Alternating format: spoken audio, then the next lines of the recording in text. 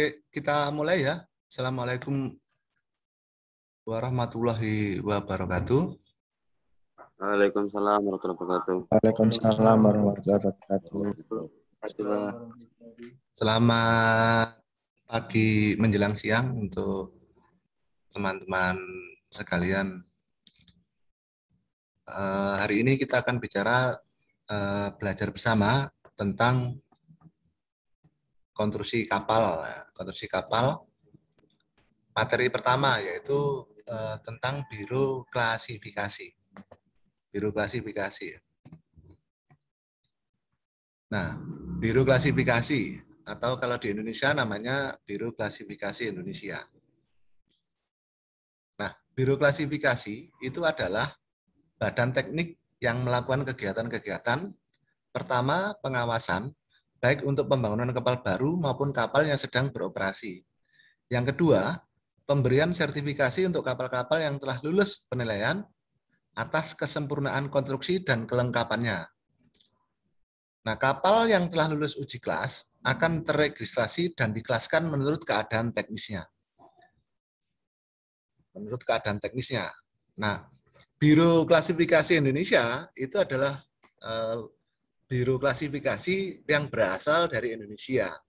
Sementara biro-biro klasifikasi dari negara-negara lain itu juga banyak. Uh, mereka itu berasosiasi membentuk yang namanya IACS, IACS, International Association of Classification Societies. Nah, anggotanya, membersnya itu ada American Bureau of Shipping, ABS USA, Biro Veritas BV Prancis, China Classification Society China, Croatian Register of Shipping Kroasia, The North Veritas Norwegia, Germanischer Lloyd Jermani, Indian Registration of Shipping uh, India, kemudian Korea Register of Shipping KR Korea Selatan, Lloyd Register of Shipping LR uh, British ya, uh, Inggris, Nippon Kaiji Kyokai kelas NG Jepang, Polski Register Status Quo Polandia, Registro Italiano Navale Rina Italia, kemudian Russian Maritime Register of Shipping Rusia RS ya. Ini yang paling tua itu uh, Lloyd Register of Shipping sejak tahun 1800 sudah ada dia. Nah, ini lambang-lambang dari biro klasifikasi atau simbolnya ya. Lloyd Register itu simbolnya seperti ini yang kiri ini. Biro klasifikasi tahun 64 ini dahulu ada dua biro, yaitu Biro Klasifikasi Indonesia sama Jakarta Lloyd. Kemudian ada kelas NK, ada lambangnya seperti ini, CCS, China Classification Society, Indian, lambangnya seperti ini. Uh, uh, kalau sampai sudah apa uh, familiar ya, kalau ABS itu yang lambangnya eagle nih. Jerman Lloyd sama Lloyd Register itu sebenarnya akar akarnya sama Lloyd DNV, Nos Veritas, Norwegia. Kemudian Biro Klasifikasi setiap pembangunan kapal baru diwajibkan untuk mengacu pada peraturan kelas yang terbaru. Nah, klasifikasi itu meliputi empat bagian utama, yaitu badan kapal, uh, ship hull, permesinan, machineries, instalasi listrik, electrical installation, kemudian peralatan jangkar, dan anchoring equipment. Kalau sama lihat, mata kuliah kita itu akarnya empat semua ini ya akarnya ya. Kalau sama lihat ya. Permission kapal itu ada kapal permission kapal satu dua, kemudian elektrik apa namanya kelistrikan kapal itu juga ada dua. Yang satunya kelistrikan kapal dan elektronika kapal. Kemudian peralatan jangkar dan manajemen itu masuk ke permission kapal satu dan dua. Permission kapal satu mesin-mesin utamanya, permission kapal dua itu deck machinery ya, itu peralatan jangkar dan lain-lain ya. Kemudian badan kapal itu ikut mata kuliah mata konstruksi kapal, Eh, gambar penambang melintang dan memanjang. Gitu. Nah, fungsi dan tugas yang lain ya, selain menangani masalah konstruksi, permesinan dan material, Biro Klasifikasi juga mendapatkan wewenang untuk menjalankan survei yang didasarkan pada ICLL atau International Convention on Load Line tahun 19 ICLL tahun 1966, kemudian International Convention for the Safety of Life at Sea atau SOLAS 74, kemudian International Convention for the Prevention of Pollution from Ship atau Marine Pollution Prevention ya. Marpol 73, Strip 78 yang diratifikasi 78, IMO Codes untuk chemical and gas tanker, kemudian Convention of the Labor Organization Office atau ILO. Ini terkait ke, apa namanya ke, ke keselamatan sertifikasi keamanan bagi kru kapal yang beroperasi mengoperasikan kapal. Kemudian klasifikasi memungkinkan galangan-galangan kapal melaksanakan pembangunan menurut standar. Nah, peraturan yang tertuang pada klasifikasi mengacu pada pengalaman praktek selama bertahun-tahun. Yang kedua adalah penelitian secara ilmiah. Yang ketiga, perhitungan-perhitungan. Nah, pengalaman praktek selama bertahun-tahun itu eh, dari galangan masing-masing itu berbeda-beda. PT PAL yang sudah berdiri sejak tahun 80, dahulu namanya eh, Marine, Marine waktu zaman Belanda itu sudah berdiri tahun 32. Kemudian penelitian secara ilmiah yang dilakukan oleh kampus dan juga biro klasifikasi sendiri. Maka penelitian-penelitian yang berasal dari kampus terkait eh, masalah-masalah perkapalan atau ma, ma, marine atau maritim itu sebenarnya juga me, membawa eh, kebijakan pada biro klasifikasi. Di luar perhitungan konstruksi berdasarkan biro klasifikasi, Kesempurnaan hasil dapat diraih dengan pemeriksaan dan pengawasan selama pembangunan kapal. Yang kedua, pengujian bahan dan perlengkapannya. Biro klasifikasi juga mengawasi dan memberikan petunjuk dalam perbaikan dan konversi kapal. Ini yang uh, mata kuliah biro klasifikasi ini yang masalah perbaikan dan konversi ini mata kuliah reparasi kapal di semester 5. Nah, sertifikasi yang dikeluarkan oleh biro klasifikasi menjadi acuan pihak perusahaan asuransi untuk mengeluarkan asuransi bagi kapal tersebut ketika beroperasi. Jadi sekarang sudah ada Indonesia dulu tidak mengenal asuransi untuk kapal, sekarang sudah mengenal. Jadi kapal itu bisa dijaminkan sebagai aset. Dahulu tidak bisa. Maka itu eh, acuan dari pihak bank atau perusahaan asuransi adalah sertifikat yang dikeluarkan oleh biro klasifikasi itu. Jadi ada dua, sertifikat pembangunan dan sertifikasi kelayakannya. Nah, kapal yang mendapatkan kelas dari bidang klasifikasi akan memperoleh premi asuransi yang lebih rendah dibanding kapal yang tidak mempunyai sertifikasi kelas. Kemudian, pengawasan yang menyeluruh dari bidang klasifikasi akan memberikan jaminan keselamatan bagi awak kapal, penumpang, dan pemilik barang. Nah, ini sertifikat tanda kelas yang dikeluarkan oleh biro klasifikasi biasanya di kapalnya muncul nah, di mana di depannya bangunan atas itu. Ini contoh ya. Kalau karakternya adalah A100 dalam kurung I, maka lambungnya itu secara sempurna itu dibangun berdasarkan pengawasan dari Biro Klasifikasi dan dia sempurna. Notasinya adalah oil tanker, berarti kapalnya adalah kapal pengangkut minyak. Kemudian machinery. Kalau tandanya SM, maka Eh, permesinannya dibangun berdasarkan pengawasan biro klasifikasi dan dibangun secara sempurna. Nota, notif, notasinya adalah OT atau oil tanker. Nah, definisi dari tanda tadi ya, A100. Kapal yang seluruh bagiannya memenuhi peraturan konstruksi dari BKI. A100. Dibangun secara sempurna dan diawasi secara penuh oleh BKI. Maka namanya A100. A90 kapal yang tidak seluruh bagiannya memenuhi peraturan konstruksi BKI. A90. Ada sebagian yang tidak memenuhi persyaratan BKI. Contoh bracketnya ada yang kurang. E, contoh lagi ada beberapa bagian ketebalan 4 yang tidak memenuhi standar BKI. Contoh ini ya. Kemudian untuk permesinan atau mesineri, SM motor induk, motor bantu, dan perlengkapan penunjang motor induk serta instalasi listrik memenuhi persyaratan BKI. A min SM diberikan untuk instalasi permesinan termasuk instalasi listrik untuk non self propulsive vessel untuk vessel dan bangunan apung lainnya sesuai dengan persyaratan BKI. ASM itu contohnya adalah untuk kapal-kapal yang tidak memiliki propulsi untuk menggerakkan kapal propulsinya hanya untuk menggerakkan kapal ke posisi semula begitu. Contoh-contoh adalah bangunan apung lepas pantai ya, yang dahulu sempat kita bicarakan di pengantar teknologi perkapalan.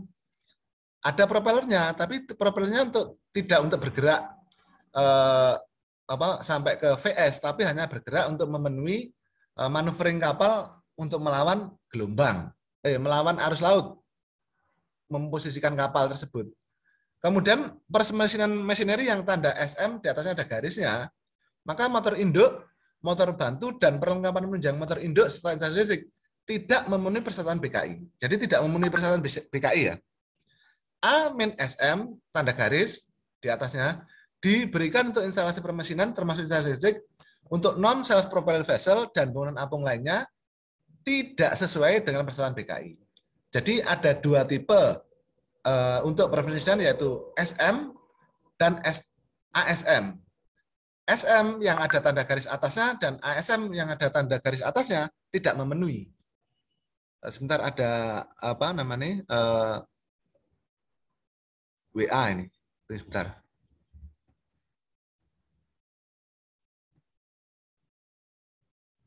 Oke.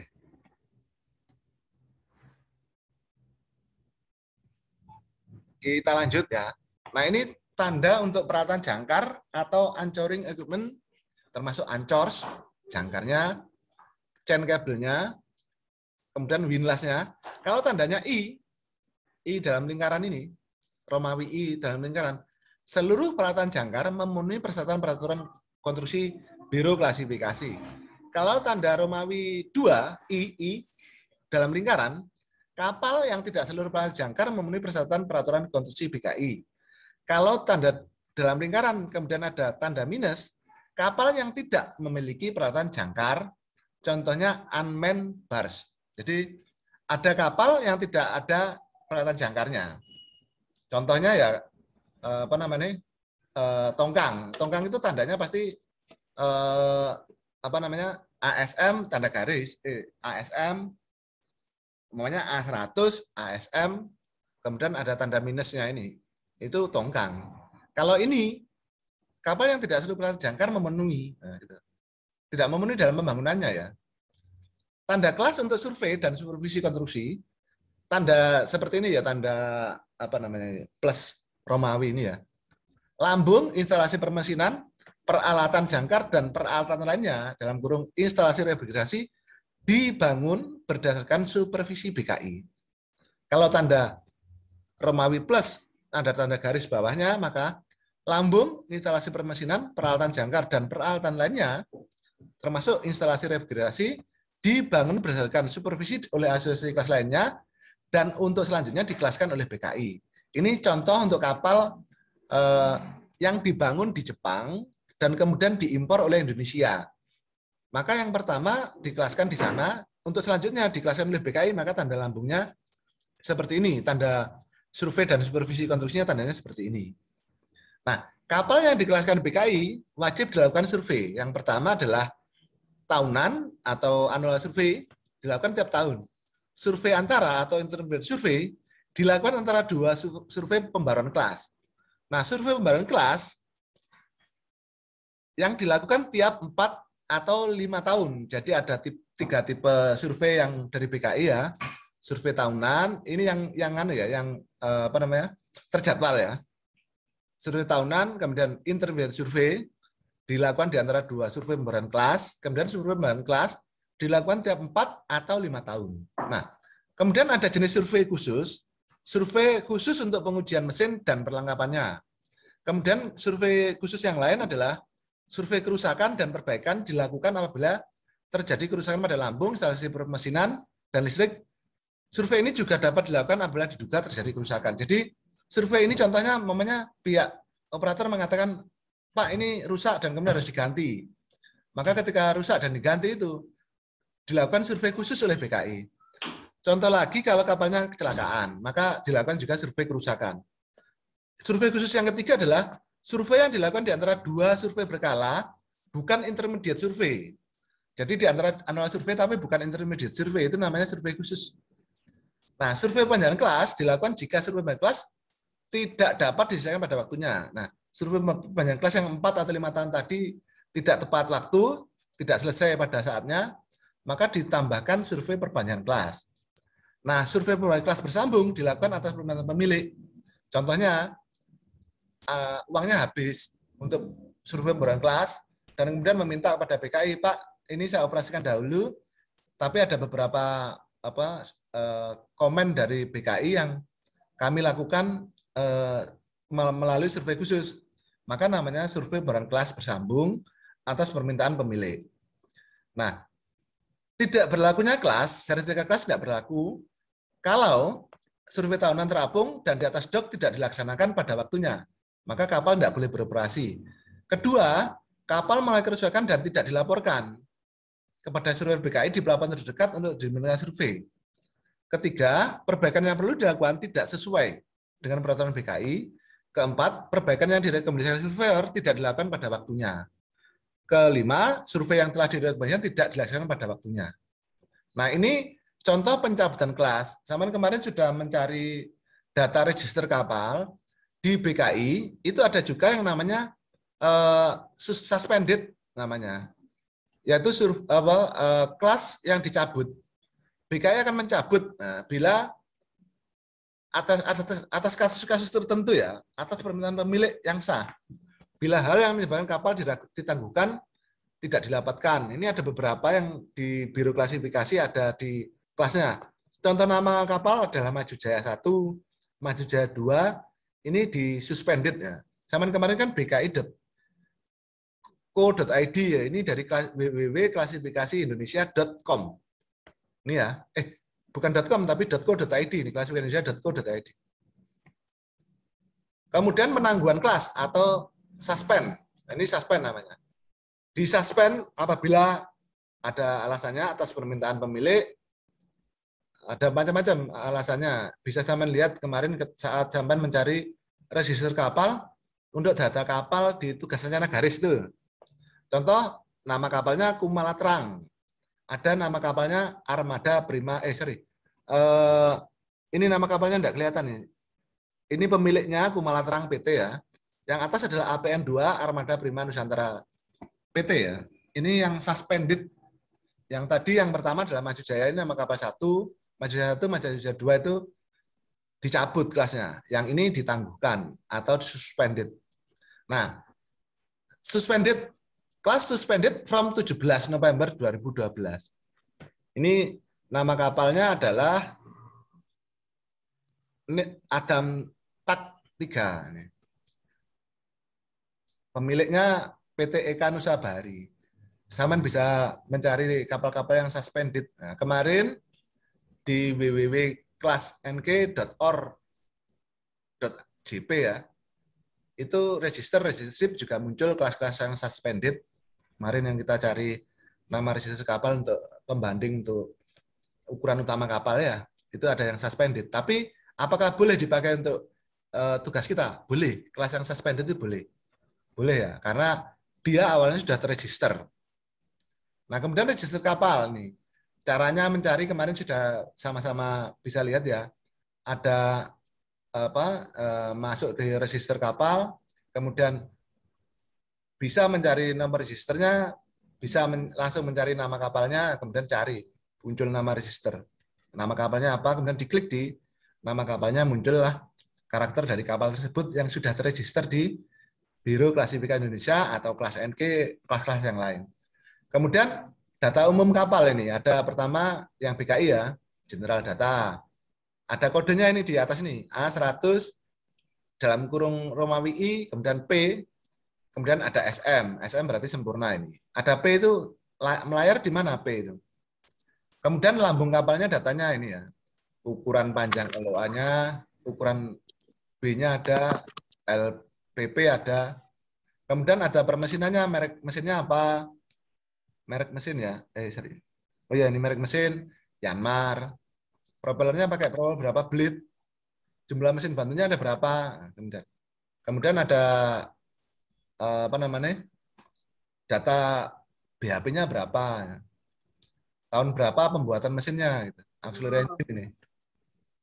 Bentar ada yang Abdul Rahman saya ini terana nih, terklik ini, tunggu sebentar ya. Oke.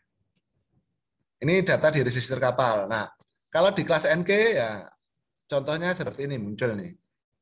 eh, pas update 13 Februari 2013 nih ada nama kapal eh, Emeralda Emerald Gloria.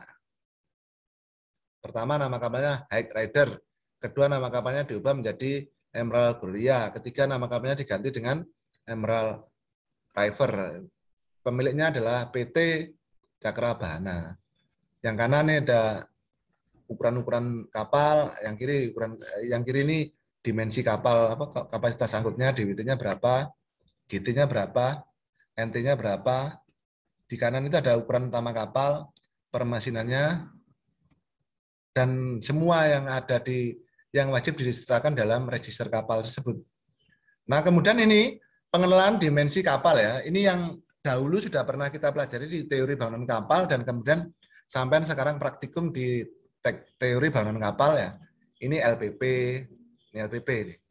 Sampai ke depan sini LBL, LOA. Nah, gitu ya. Kemudian B ya, depth H atau D, kemudian draft T, T atau D kecil. Kemudian pengertian di BKI, Biro Klasifikasi Volume 2, leng. Nah, ini ada pengertian 96% sampai 97%. Ini nanti Saman bisa membacanya sendiri di BKI volume 2. Saman bisa mengunduhnya peraturan BKI ini ya. Ada pengertian dari L adalah panjang dalam meter on summer load waterline from the foreset to the stem the after ini L ya. Berarti L ini apa? LPP. Kemudian LC atau panjang konstruksi. The length LC taken 896% pada waterline pada 86 85%. At least ini panjang konstruksi. Kemudian BKI untuk according to SOLAS 74 panjang L nah, diukur between perpendikular. Untuk LS, eh, LS ya, reference estimate to definition and solas. Nah, jadi ada beberapa kategori tidak hanya LPP tapi L konstruksi, kemudian ada L between perpendikular juga yang di biro klasifikasi berdasarkan aturan IMO atau SOLAS. Nah, subdivision untuk length LS, nah ini LS ada perbedaan ya. LS is the greatest projected molded nah, length of the part. Ya. Atau kalau bahasa kita adalah LOA. Nah, tapi kalau di sininya muncul, maka LS ini juga berbeda ini LS. Kalau ada penambahan di atasnya. The greatest projected molded length of the part of the ship below deck or ship deck limiting the vertical extent of floating with the ship at the deepest the deepest subdivision load line. Kalau didivisikan ini, maka LS itu sebenarnya adalah LOA. Kalau ada penambahan floating di atasnya, maka ditambahkan dengan LS. Maka LS sebenarnya adalah penambahan panjang dari ini. Pengertian LS tidak kita pakai dalam perancangan untuk kapal kita, karena agak rumit untuk eh, mata kuliah-mata kuliah di teknik manufaktur kapal ya. Maka pengertian LS eh, untuk sementara kita, tapi nanti kalau sampai uh, sudah jadi sarjana ya wajib memahami itu LS apa gitu. Kemudian FP nah itu kemarin pengertian-pengertian waktu di teori bangunan kapal satu ya eh TBK kemarin yang di semester kemarin yang sekarang juga di praktikum apa itu FP di mana FP B atau berat itu di mana kemudian H itu di mana T di mana pengertiannya juga harus diketahui ya. Saman bisa membacanya sendiri di Biro Klasifikasi Indonesia volume 2 edisi yang terbaru 2020 ada. Ada di apa uh, section 1 subdivisi H ayat 2 pasal 8. Nah, pembagian daerah pelayaran. Ada kode kapal yang tadi ada P ya, di tanda kapal tadi ada Kemudian ada kekuatan kapal diberikan menurut daerah pelayarannya, ring of service. Kalau kapal itu di belakangnya tidak ada notasinya, namanya A100, kemudian bunder I, kemudian eh, SM gitu ya. Kemudian di belakangnya tidak ada notasinya. Maka dia bisa melalui unlimited range of service termasuk kelas samudera. Tapi kalau di belakangnya ada tanda kode P, restricted ocean service. Nah, hanya perairan di Asia Tenggara. Samudra yang sekurangnya pada jarak 200 nautical mile terdapat pelabuhan atau offshore platform yang bisa disinggahi nanti kalau terjadi apa-apa.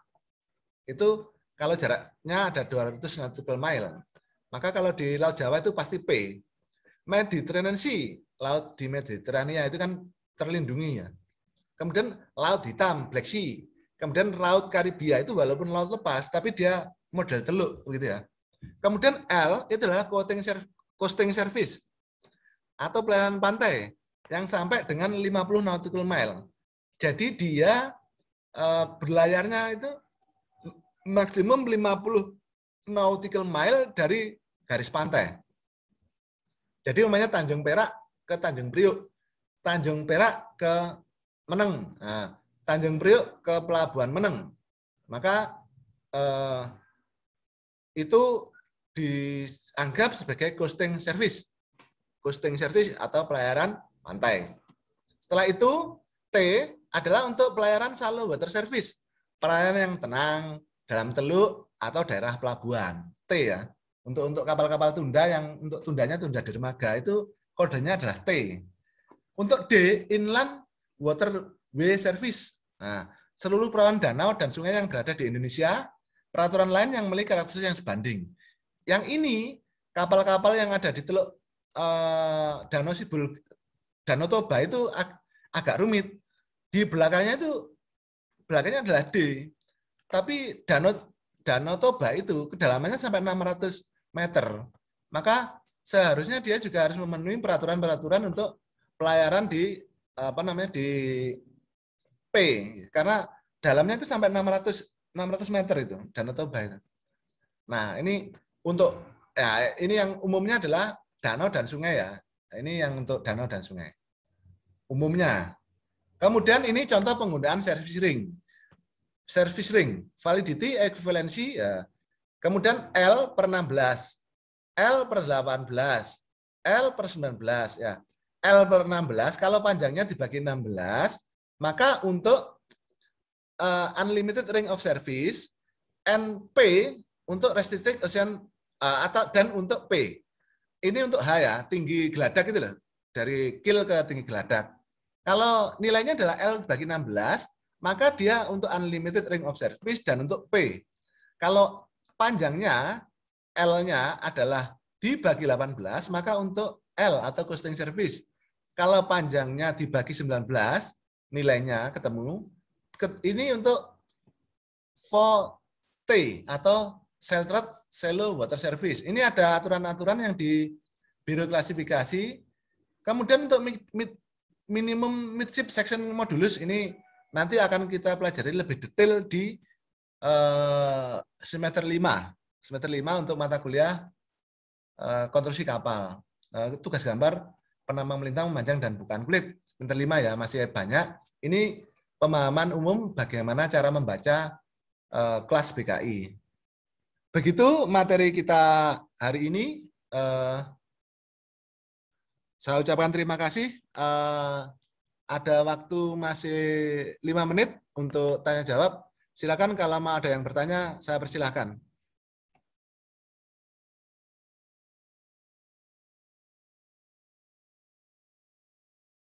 Tidak ada pertanyaan? Cukup, Pak. Oke, cukup.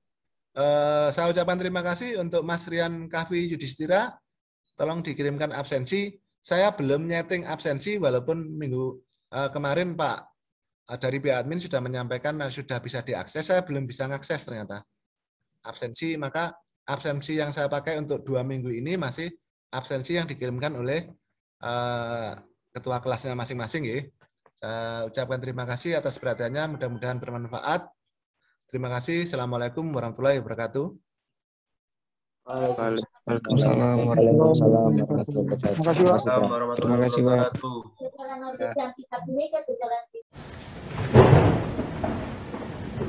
Pak.